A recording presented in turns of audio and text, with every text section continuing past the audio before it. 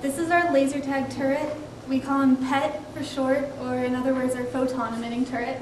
Um, it has it's user controlled uh, wirelessly through an altered joystick, and the camera sends a live video feed to the headset, which um, has a screen overlay for real-time information updates. The LEDs around the gun pod will flash when fired, or it's a user selectable headlights, so you have different options there. And sounds are um, displayed whenever the turret is firing or if it gets hit. This is the uh, headset. It's a uh, commercial first-person video goggle set that's wireless. We used the camera and transmitter that came with it. So in order to turn the turret on, we have a magnetic reed switch. So we have a magnetic dongle that will fire it up. And then you plug it into the joystick to turn it on. So the, when the user is wearing that headset, they're seeing exactly what you're seeing here. You can control the movement forward, upward, to the left, and your right. We also have a potentiometer that controls the speed, so I can go faster, and I can move it slower. That's in addition to the analog control within the joystick itself. Yeah. The information that is displayed here is, is uh, uh, calculated here on the turret. We've got at the top is the compass heading. Um, that gives the current compass heading of the turret. And then um, we've got the reticle. Now the reticle uh, is uh, lined up, the camera and the, the barrel here are lined up. There's an infrared LED inside the barrel. And uh, when, you, when he pulls the trigger, uh, if you go ahead and do that, So, hold on.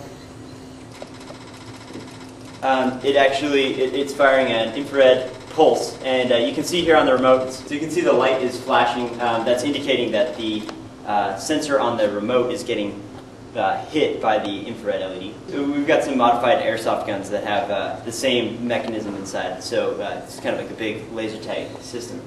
Uh, the two bars below here uh, are shields and health. So uh, there's a sensor on the back here, an infrared sensor, So every time I click, it's actually firing.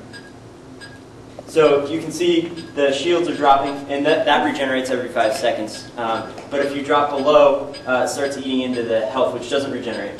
Down here you've got uh, battery life. Uh, it's battery life on, the turret. And then uh, there's also a thermal sensor inside the turret. Um, if the battery drops below uh, the critical value or the thermal sensor rises above uh, the critical temperature, a warning message will display on the screen, and then the turret will shut down. So the shell was made out of fiberglass mold.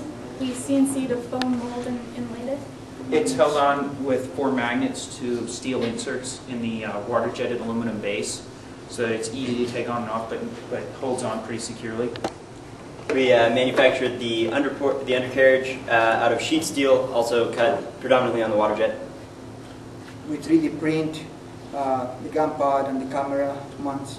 The azimuth drive is a continuous rotation servo to a gear drive that's mounted to the base. The Azimuth being left and right. Yeah. Gun pod is, again, a continuous rotation servo with a additional potentiometer mounted on the gun pod that gives, that gives us a gear reduction so that it's moved slower. Camera pod's moved by a standard uh, RC microservo. The speaker's attached to the MSP 430, and that also um, signals whenever the turret is hit or is firing. So we have a Axon microcontroller, which is basically it's an Arduino Mega in a different form factor. It controls it's the main brains of the turret. We have a PIC controlling uh, F88 controlling the lights you want to fire to do different patterns as well as the headlights. We have a uh, mic, uh, TI Texas Instruments MS or MSP 430 microcontroller that controls the laser tag portion. It's what I've used in all the rest of the laser tag and it communicates via XBee to the joystick, which has a Arduino Theo in it.